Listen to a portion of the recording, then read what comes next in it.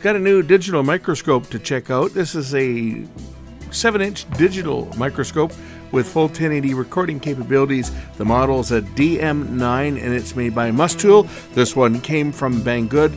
We're going to throw this one together, check it out, see what it can see, and I'll even try to practice some soldering on a scrap board just to give you an idea of what the picture quality is like and what you can expect out of a unit of this cost. Let's check it out. I received the package in the mail. It had a bunch of stuff in it. Uh, first thing we're going to look at is this uh, digital microscope from Mustool. I've already got a digital microscope. I wonder how much different this one is. I got a couple of them. Actually, I have one now, I think, because I've gotten rid of a few. Comes with a CD. Who even has a CD drive anymore? I do. Hmm. A mini CD. They're not putting direct sunlight. Gee, I wonder why. This must be firmware or something for it. Here's the unit itself. It's got an HDMI out. You can put it onto your TV. Hmm, we'll have to try that. And put a card in to record. Camera's down here. Focus control. Let's uh, see what else is in here. Looks like some other equipment. What is that? That's a light diffuser. We're going to get into that in a minute. Just get all the tools out, get all the pieces out here. We'll put this thing together, read the instructions, and try it out. Looks like it's got a battery for the lights. Basically. Ah, the lights have uh, a battery that powers them. Not very bright. I guess they're bright enough for what it's needed. So you can illuminate what you are looking at see what else we've got in here. Comes with a HDMI cable. It also comes with um, a mounting bracket. I guess we'll screw this into the base.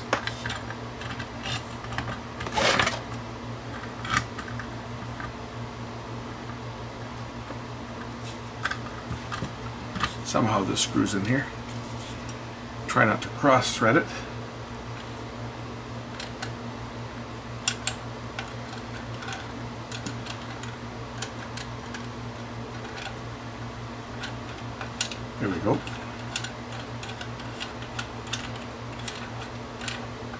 And then tighten down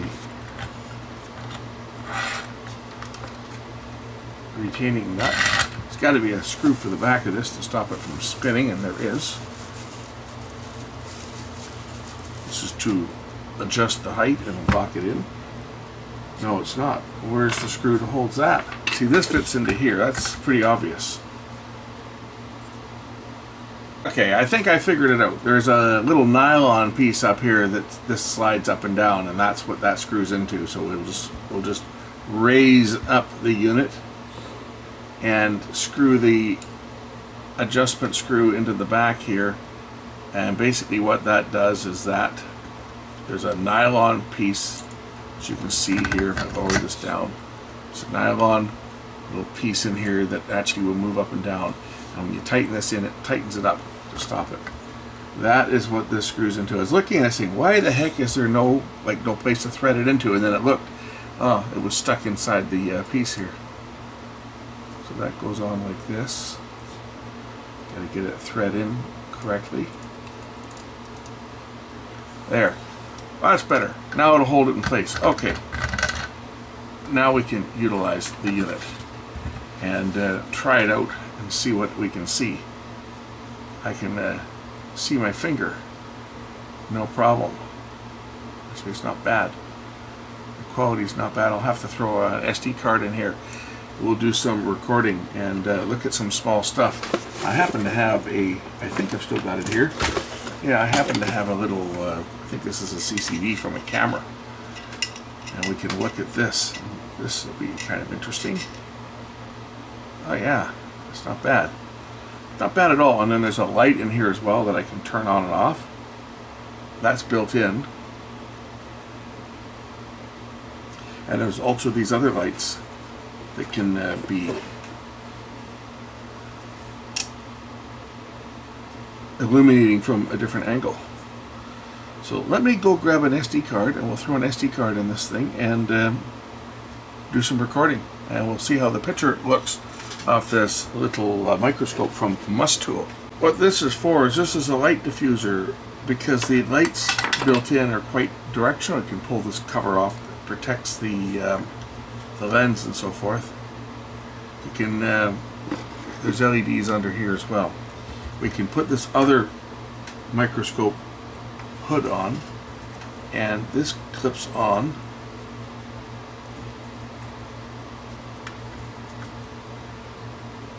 that.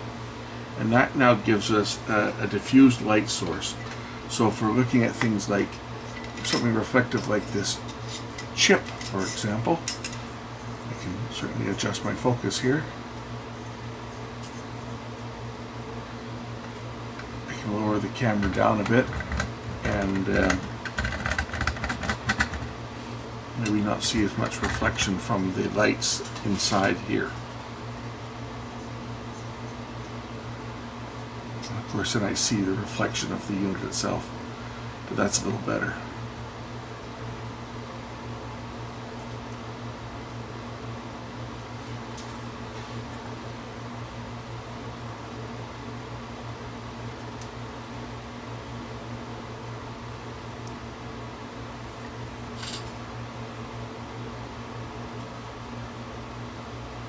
It's not bad. I can see all the bonding wires. I'll do a recording of this and show you guys what the picture looks like. And of course we can also turn on the external lights. Light it from another angle as well. So the external lights are for is for lighting from a different angle. But um, certainly this diffuser eliminates a lot of the uh, reflection that you get from the direct LEDs as you can see they are reflecting right onto the, the lens. So that's what this is for you can snap this on and it has a space for the light to shine through around here. You can see there's an opening here. The light can shine through there reflects on a mirrored surface on the bottom of here and then around this outside ring. So this eliminate and then the lens of course fits through the center. So that eliminates the glare from the LEDs when you're looking at reflective, highly reflective surfaces such as we see here looking at this chip. We're seeing reflections from the lights here. Okay, I've got a uh, an SD card in it now I know if I, I got on the remote control, if I press the snapshot button, it will take a snapshot. So we'll just uh, do that and take a snapshot. Uh, it's two megapixels. Let's see if we can set that up. Resolution. Here we go. 16 megapixels. Okay. Burst shooting is off. Image quality is standard. Put it in high quality. If I want to record video, press the video button. Oh, it changed the it changed the field of view to do that as well. But now I can record video, and this is this is as close as I can get it this is as low as the camera goes as far as zooming in because there's no zoom lens on here. It's done by adjusting where the camera is. So you take it up to the height you want you lock it in and then you focus. You want to get in close you actually have to physically bring the microscope down and then focus. Now what these units are actually pretty good at looking at is the stylus on a record or even the grooves in a record. I'm just using the the lighting that's built in. This is the overhead lighting. I can turn them off or dim them down. And I am recording this. No, I'm not. Uh, now I am. I'm recording this now on the SD card so we can look at the actual quality of the recording. I can adjust the light level.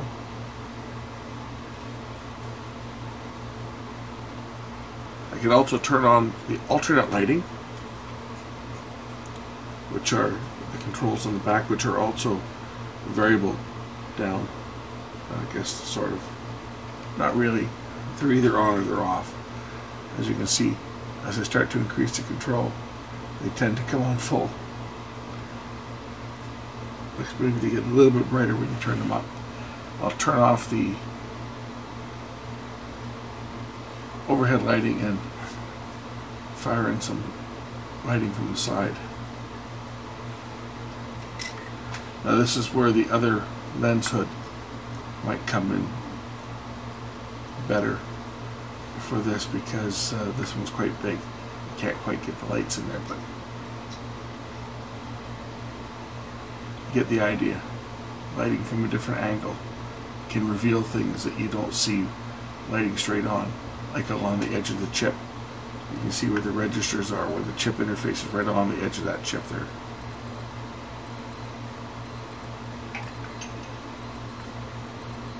Those are not visible. I guess they are, just look different. They look totally different when the lighting from over top is on as opposed to lighting from the side.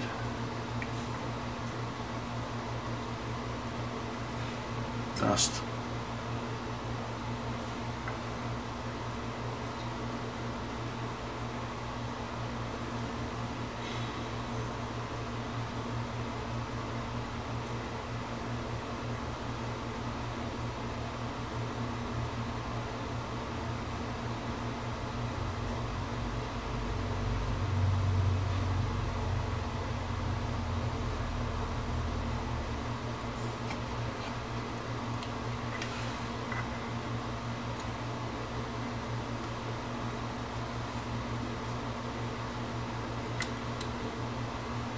I'm quite impressed with the quality. It actually does a better recording than my other one that I've got.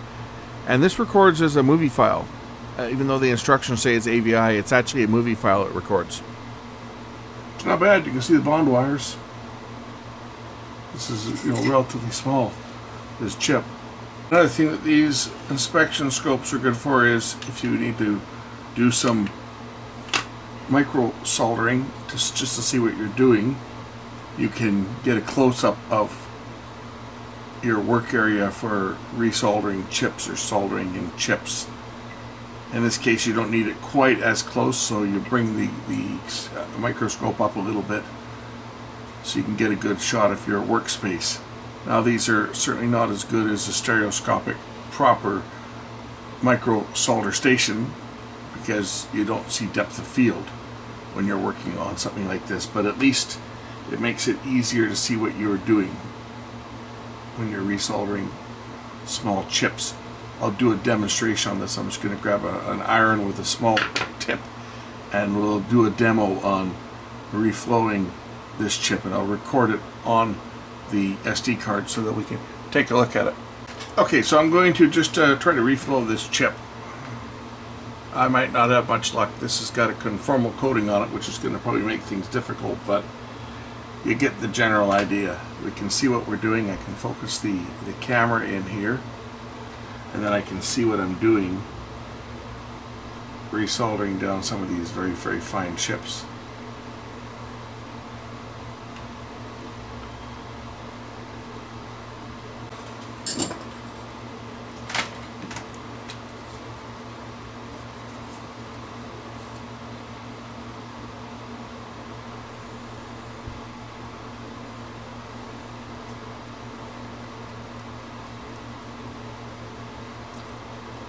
The smell in here is so bad from this conformal coating just burning off of here. It just stinks.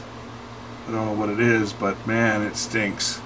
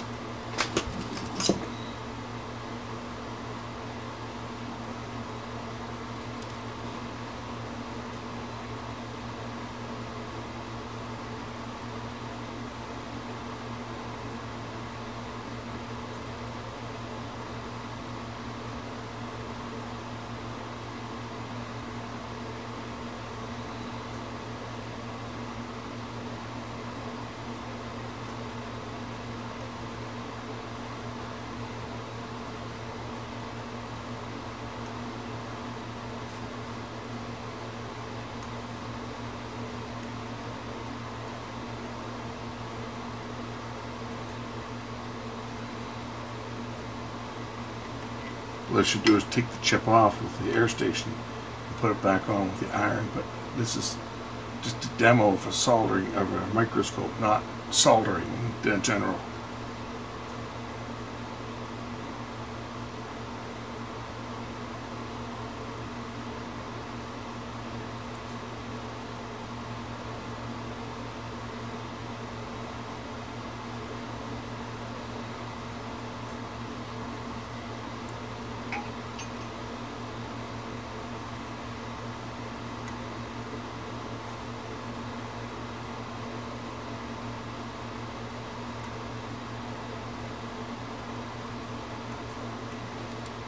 Okay, there you have it. I think that's uh, probably going to show off this little microscope as uh, well as I think I can show it off. They are hobby units. Oh, the battery needs to be charged for the lights. Have to plug those in. Same as this. I've got it plugged into power now. Um, but yeah, these units are, are really for the hobbyist, expecting your uh, stylus for your turntable, for example, or doing some solder work. They can certainly help you solder some of these really small connections when you're doing it with a conventional iron. They get the job done. They're certainly not at the same level as a professional stereoscopic microscope, but they do get the job done for smaller projects. Obviously, you're you're stuck with a, a small work area here where some of the bigger stations you can work on larger boards, but for smaller circuit boards, stuff like this, you can certainly do the work under one of these. And you can certainly inspect for bad connections and so forth. Check part numbers, etc. Makes seeing this stuff very easy.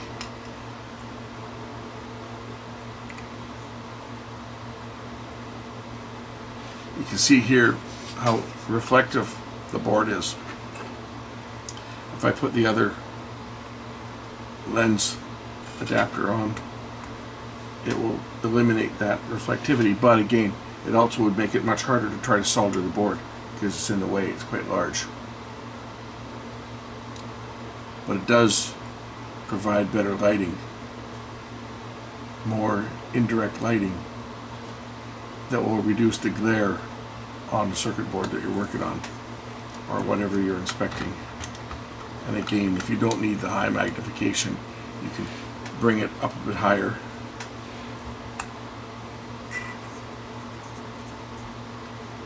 And still see probably good enough.